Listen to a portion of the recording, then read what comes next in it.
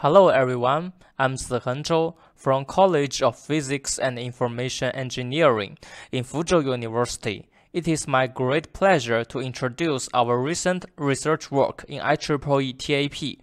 This work proposed a wideband MIMO antenna with enhanced isolation using coupled transmission lines.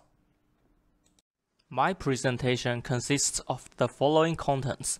I will introduce the basic background, design methods, and the designed antenna prototype. The multiple input and multiple output technology is a well-known approach to increase channel capacity for modern wireless communication systems. However, when multiple antennas are packed closely, the increased mutual coupling will degrade the antenna efficiency as well as the MIMO performance, which has become a critical issue to tackle. In this work, based on the even mode and the odd mode analysis of antennas, we propose a decoupling and matching scheme as shown in the figure. First, we match the odd mode input impedance by adjusting the antenna structure and then we add a coupled transmission line behind the antenna to match the even mode input impedance. This figure shows the structure of the proposed printed monopole pair, which is connected with a segment of edge-coupled coplanar waveguide.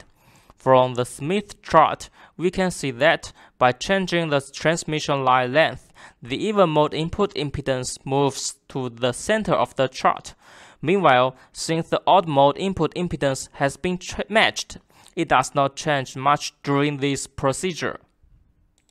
The photograph of the prototyped antenna pair, along with the measured reflection and transmission coefficients, are displayed in the figure.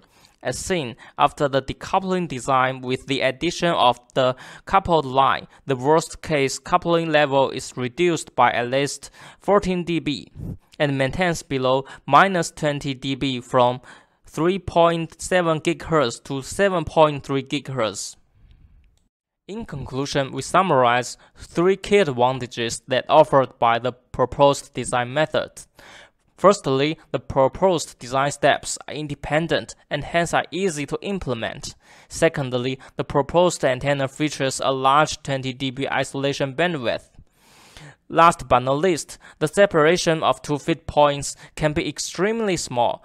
In our design, it is obviously less than one-tenth of the largest operating wavelength. Thank you for listening.